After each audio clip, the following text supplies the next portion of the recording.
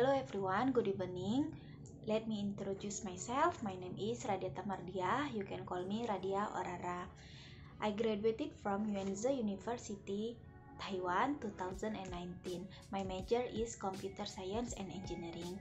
I'm sorry before I'm not in good condition now because I have accident before. But in this video, I would like to tell you that I have been accepted as one of students in Apple Developer Academy at Infinite Learning for cohort 2021 and I would like to commit that I will be able to join the training from last week of February to mid December 2021 and I will be able to join the class from Monday to Friday 4 hours a day.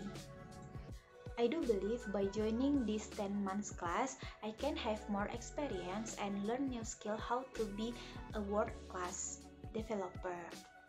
Because we learn from the basics starting from the idea, investigation, design, coding, startup, and also product manager. By learning all of that, I believe that I can be a world-class developer as my goal to join this training. Maybe that's all from me. I hope I can join the global community as soon as possible. And Assalamualaikum warahmatullahi wabarakatuh.